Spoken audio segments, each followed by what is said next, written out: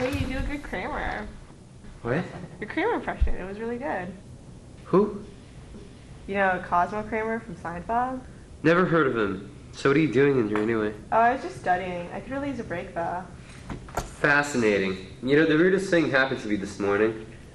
Oh yeah? What was it? I got up for class and I was looking for something to do on my break.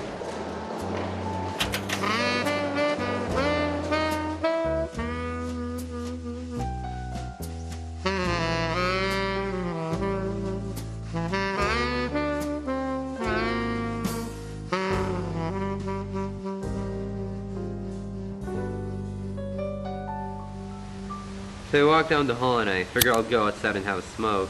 You should really quit smoking, you know. Well, you should really quit being a slut. I'm not a slut. Oh, you're a slut, alright. So I light up my cigarette and then I look up and see this girl. This girl. This girl, and she's staring right at me.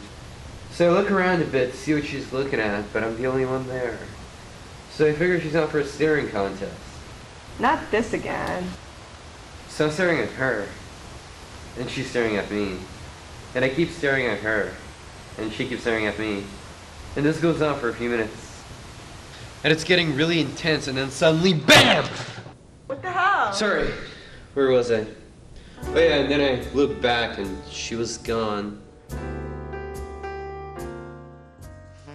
Wow, that's really weird. Hey, what's that over there? What? What is it?